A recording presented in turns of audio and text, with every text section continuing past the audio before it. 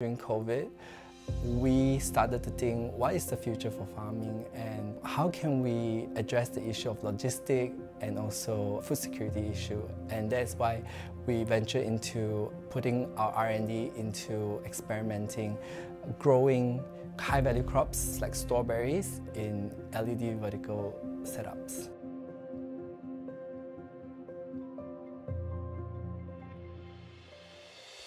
Right now, we are in the process of patenting the light recipe, light parameter, and also the environmental parameters and the design of this, this facility. Our plan is to build commercial size facilities for the local market and to bring Brunei technology overseas.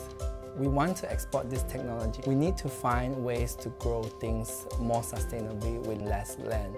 Exporting this technology means that you can basically build it anywhere. When it's closer to market, you will have a much premium product.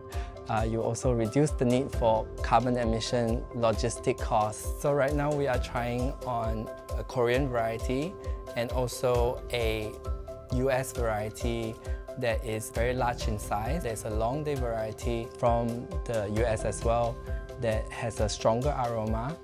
And we have also a short day cultivar, which is much softer, but a lot more juicy and sweet. LED lights is energy efficient and it's replaced uh, sunlight. When we can replace sunlight, we can stack plants on top of each other in multiple stories. You can save more space compared to outdoor farms. You can plant 700 times more. So uh, this multi-story racking comes with a drain system. Here we use different colors of lights compared to the traditional vertical farms because leafy vegetable requires a much simpler lights uh, spectrum. Fruit-bearing plants like strawberries, it requires a much complex light colors. It needs a certain amount of red, of blue, and a little bit of green. At different stages of the life cycle, they requires a different level. In, for the past two years, we have been experimenting, and now we have finally found the right light recipe to grow high-yielding, high-quality strawberries.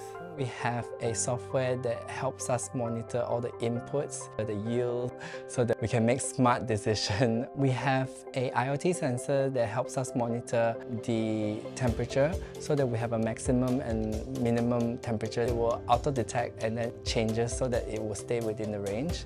And we also have enriched CO2 and humidity capabilities here so that we can mimic the environment that's best to grow strawberries. With this kind of setup, you can basically grow them all year round. Because we mimic the environment that is needed to grow strawberries, seedlings will arrive from the breeders. We will put them into uh, coco peat bags, that holds the roots, and we have dripping system which will start watering them daily and from there on we will have to wait two months until start to become very vegetated. The flower will start to emerge and from there the fruit will develop.